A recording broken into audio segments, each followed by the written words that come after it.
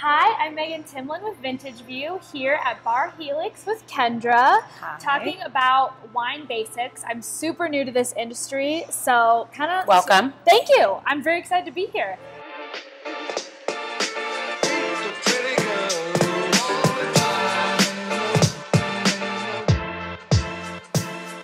So, kind of take me through just the beginning here. What we can taste some wine and Of course. see what's up. yeah. So first things first with wine, just know that knowing that you love wine is all that you need to worry about. Okay. Doesn't matter what you do know. Doesn't matter what you don't know.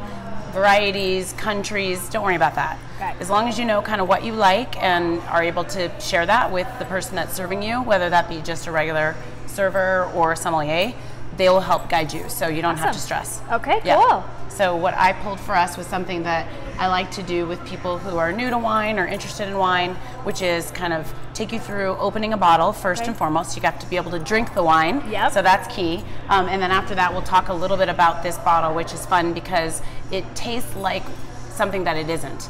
And that's always cool for people who are starting to explore the world of wine. Okay. So, with um, opening your bottle, first thing is I think having the right tool is pretty essential.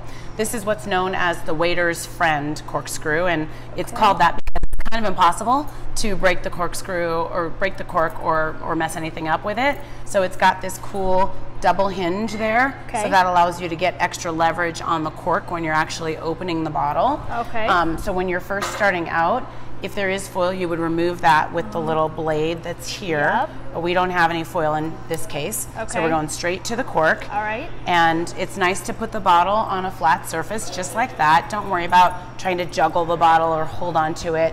Um, so what I've always been taught is to kind of just take your index finger and point it right there where the worm starts to kind of end its little spin. Okay. And then I'm going to remove the bottle just because it's hard to do sitting down. And then just use that tip to kind of start the twisting motion just like I did. And then you're, you see it's in there Yep. firmly because I just used the right amount of pressure. And then you're just going to twist it till you get to a place where this first little hinge can hit that lip. Okay. And then you can start it just like that, right? So if the cork breaks, what am I doing wrong? you either haven't gone farther enough in with the worm Okay. to get the right amount of leverage, or maybe you just have like superhero hero strength. Uh, one of the two. Um, Okay. yeah. So if that's the case, yeah, just kind of reinsert the corkscrew Okay. back into the cork and start again. Gotcha. Yeah. No worries if that happens. Then what I do is I remove the cork fully, and then every single bottle of wine, no matter what, you have to smell it, right?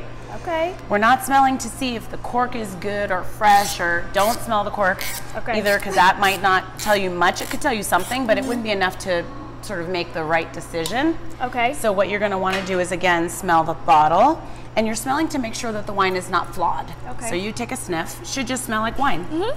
Right? Nothing else. No, don't, not the aromas of wine particularly, but just not anything sort of moldy, musty, dirty. That would be the sign that perhaps the wine has got cork taint. Okay. And that's all you're checking for. So quick, right. quick sniff, Perfect. and then pour. All right. And I always do a little twist Okay. at the end. You're not working in a restaurant, so you don't have a napkin, right, to catch the drips. Yep. If you do the twist, hopefully that will let the bottle kind of naturally stop and no drips hit the table. and so what are we drinking? This is which a lot of people Oh. are unfamiliar with, or if they've had Riesling, they sort of have a perception that it's sweet.